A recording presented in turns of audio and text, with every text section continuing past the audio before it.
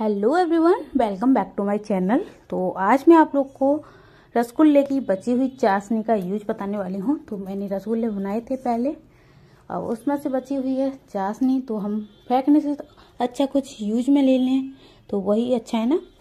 तो देखिए, सबसे पहले हमने कढ़ाई को चढ़ा दिया है गैस पर। और थोड़ी सी मैं लेने वाली हूँ सूजी। तो सूजी को मैंने छान लिया है। बारीक वाली छलनी से ही छानना, ताकि इसमें जो कीड़े वगैरह अगर होते हैं तो वो दिख तो भी जाते हैं। तो मैंने देखा तो है नहीं है। तो अब देखिए, अब हम इसको भून लेंगे। तो भूनने के लिए इसमें डालेंगे हम दो चम्मच करिए घी। तो इसमें घी इतना डालना है कि ये अच्छे से हमारी जो सूजी है, वो गीली हो जाए। तो अभी हमें और डालना है। देखिए, मैंने एक चम्मच डाला तो ये मुझे बहुत कम लग रही थी। अब मैं इसमें एक और चम्मच डालूँगी।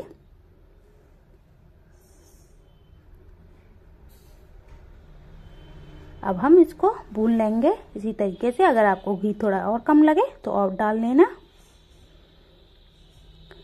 अगर घी कम रह जाता है तो हलवा जो है बहुत ही ज़्यादा सूखा सूखा सा लगता है। और घी अगर सही डलता है, अच्छी क्वांटिटी में डलता है तो हलवा जो है चिकनाई, हल्का सा चिकनापन पे रहता है, इसीलिए।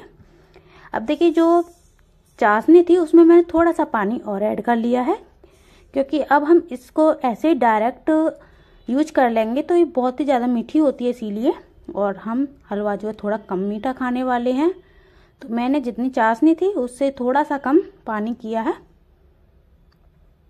अब देखिए हमने सूजी को इस तरीके से ब्राउन होने तक भून लिया है।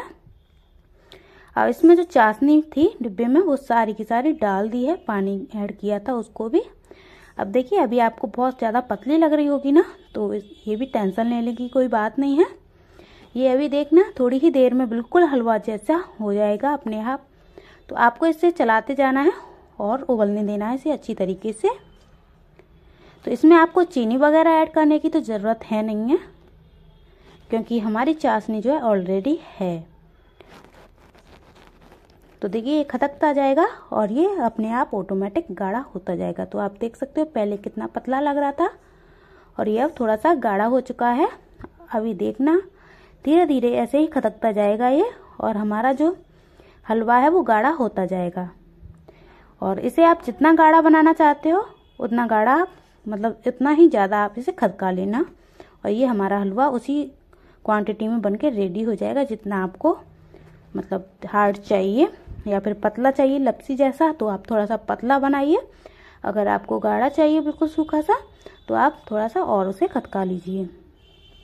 तो देख सकते हो कितना गाढ़ा हो चुका है ये। तो अभी हम इसको और भी ज़्यादा गाढ़ा होने देंगे, क्योंकि जो सूजी है ना, बहुत फूलती है।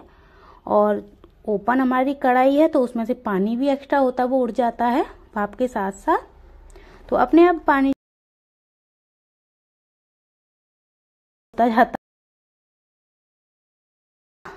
हो चुका है। अभी से थोड़ा सा और मैं अभी खतकाऊँगी ताकि हमारा जो हलवा है, वो अच्छे से सेट हो जाए।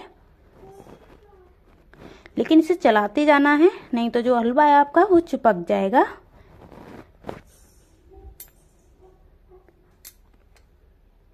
तो अब देखिए, हमारा जो हलवा है, वो हमारे जो जितना मुझे चाहिए, उतना रेडी हो चुका है।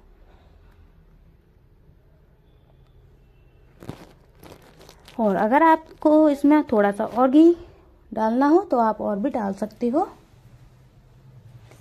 और अगर आप ज़्यादा घी नहीं पसंद करते हो तो जितना मैंने डाला है, उतना तो आप कम से कम डालना ही डालना। अब इसमें साइनिंग देने के लिए हलवा में आप ऊपर से घी डाल सकते हो, क्योंकि ऊपर से घी डाल, से, डालने से साइनिंग और भी ज़्यादा आ जाती है हलवे में। अगर डालना चाहो तो और नहीं डालना चाहो तो आपकी मर्ज़ी। तो देखिए, हमारा जो हलवा है बिल्कुल रेडी है। अगर आपको इसको जमाना है मतलब जमा जैसा करना है, जैसे जम जाता है रखा रखा तो ये थोड़ी थोड़ी देर में सेट हो जाएगा, क्योंकि ये गरम गरम है, इसीलिए भी ऐसा ही है सॉफ्ट तो देखिए, इसके ऊपर मैंने थोड़ा सा घी डाल दिया है, और इस, आ रही है ना शाइनिंग बढ़िया वाली। तो आप लोगों को हमारा ये आइडिया कैसा लगा कमेंट करके ज़रूर बताना, वीडियो कैसी लगी, वो भी बताना। और कमेंट ज़रूर करना लाइक ज़रूर करना शेयर कर देना चैनल को सब्सक्राइब कर लेना। अगर आप फेसबुक पर देख रहे हो तो फॉलो कर लेना। Bye bye